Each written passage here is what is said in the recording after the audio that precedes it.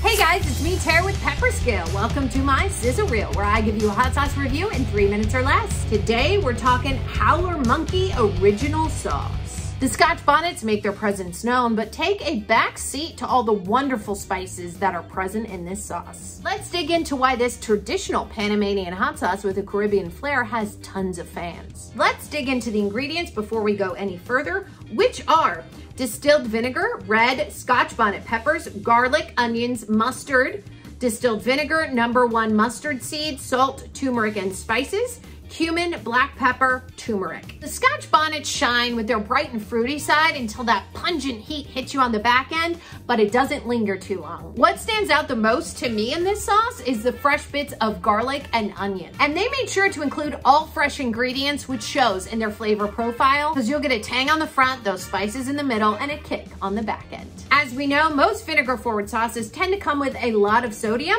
Howler Monkey found another way to make it delicious. So I would label this a mild medium heat that certainly builds as you eat it. Due to the watery side of this sauce, you can get some bites with those fresh ingredients that are less hot. And there's other bites where you will get some of those fresh little bits of scotch bonnets that will give you that respectable heat kick. For some who don't like a sauce to make it to the back of their throat, this might be too much of a kick for them. But for others who love a vinegar forward sauce with a medium heat, Howler Monkey is the way to go. And for those of you who are calling this sauce mild, you might have forgotten to shake up the bottle. So shake, shake, shake, Sonora, shake the bottle till you see the fresh ingredients all around. It's a very versatile sauce, goes with chicken, beef, seafood. It'll liven up your plate with classic fresh ingredients with those scotch bonnet peppers warming up your taste buds. And due to its yummy spices and fresh bits of garlic, all fresh ingredients, this isn't the type of sauce that you'll keep in the fridge forever. This is a type of sauce that you'll go through rather quickly. I love the Howler Monkey on the label, which is a staple of Panama, which is indicative of where the owners come from. This company also gives care packages to the US military to add a little bit more spice to their lives. So not only does Howler Monkey give you an all natural hot sauce, but it also gives back to the community as well with every bottle you buy. And I don't know about you, but it's very hard to find a vinegar forward, watery type of hot sauce